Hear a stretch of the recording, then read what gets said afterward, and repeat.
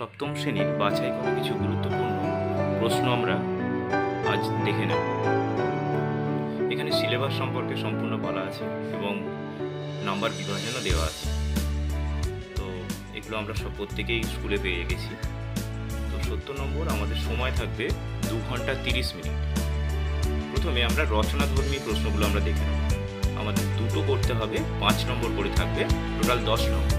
প্রথম প্রশ্ন মুঘল সাম্রাজ্যের পতনের কারণগুলি কি? কারণগুলি লেখো। শেরশাহের শাসন ব্যবস্থায় বিভিন্ন সংস্কারগুলি বর্ণনা করো। অবশ্যই এটি আগেও হয়ে গেছে। শিবাজির নেতৃত্বে মারাঠা শক্তির উত্থান ও শাসন ব্যবস্থা বর্ণনা করো। খুব গুরুত্বপূর্ণ এই ক নম্বরের প্রশ্নটা। এরপরে, ভক্তিবাদী আন্দোলনে কবির গুরু নানক চৈতন্যদেবের ভূমিকা লেখো। উমা হচ্ছে সুলতানি ও মুঘল যুগের স্থাপত্য ও চিত্রকলার পরিচয় দাও। এখানে ভক্তিবাদী আন্দোলন এবং কবির এগুলো টিকা হিসেবেও আসতে পারে। এরপর আমরা ব্যাখ্যামূলক প্রশ্ন দেখে নেব। এখানে ব্যাখ্যামূলক প্রশ্ন মোটামুটি চারটে থাকবে, তিন নম্বর করে এ বারো নম্বরের প্রশ্ন। প্রথম প্রশ্ন তিনি ইলাই সম্পর্কে টিকা লেখো। ভয়ের দাগের যেটা আছে, সুল, সুলভ ই কুল কীভাবে মুঘল প্রশাসনকে শক্তিশালী করে তুলেছিল? গয়ে পুরন্দরের সন্ধি সম্পর্কে সংক্ষেপে লেখো। এখানে সালটা কিন্তু উত্তর লেখার সময় লিখতে হবে। ঘয়ে মুঘল কৃষি সংকট সম্পর্কে টিকা লেখো। উঙ টিকা টিকা লেখো শাহজাহানবাদ। আর একটা টিকা লিখতে বলা হয়েছে মুঘল ব্যবসা বাণিজ্য। খুব গুরুত্বপূর্ণ প্রশ্ন। ছয়ের দাগে আলাই দরওয়াজার বৈশিষ্ট্য লেখো। বর্গিত হচ্ছে সুফিবাদী আন্দোলন কি চিস্তি সুফিদের জীবন কেমন ছিল? টিকা লেখো মনসবদারি ও জায়গির। আর টিকা দাক্ষিণাত্য ক্ষত, এটা লিখতে বলা হয়েছে। তো এর মধ্যে খুবই গুরুত্বপূর্ণ এই প্রশ্নগুলি। এবারে থার্ড সাবমিটিভের জন্য আমাদের। এরপরে আমরা দেখে নেব পূর্ণবাক্যে প্রশ্নগুলি উত্তর দাও নটি। মানে দু নম্বর করে থাকবে, নটা প্রশ্ন আমাদের করতে হবে। টোটাল আঠেরো নম্বর। শিবায়ন কি?